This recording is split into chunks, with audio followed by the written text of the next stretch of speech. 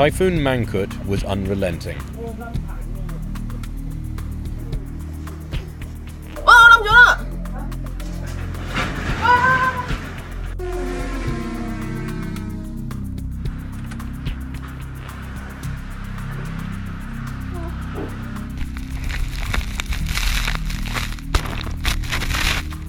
The strongest storm in the world this year barreled through Hong Kong.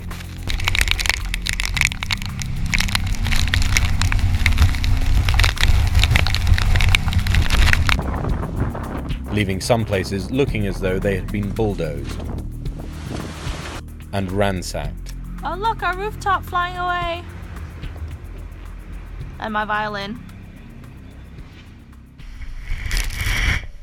Hong Kong Island's iconic skyline is usually visible from Kowloon. Despite wind gusts of over 230 kilometers an hour, a few storm enthusiasts defied the government's plea to stay inside. On the northeastern coast of Hong Kong Island in Siu Sai Wan, floodwater turned this football pitch into a pond. In the beachside village of Shek massive waves flooded the streets. Floodwaters also swept through the main street on Lamma, one of Hong Kong's outlying islands. The Hong Kong Observatory issued a number 10 signal, the highest on its typhoon alert scale on Sunday morning, and later decided it would remain in effect all afternoon. The storm wreaked havoc.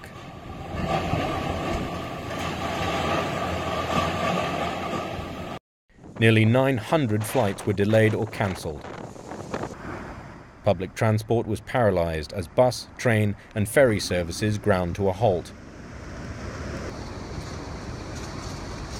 Late on Sunday, Hong Kong's Education Bureau closed all schools for Monday.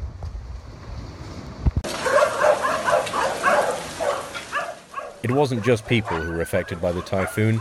A roof blew off one of the huts at this dog shelter in the New Territories, near the border with China, leaving the puppies inside exposed.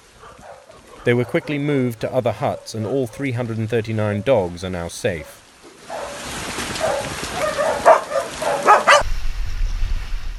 With the worst of the storm having passed through the city, Hong Kongers are getting ready for the next challenge cleaning up after the storm's chaos.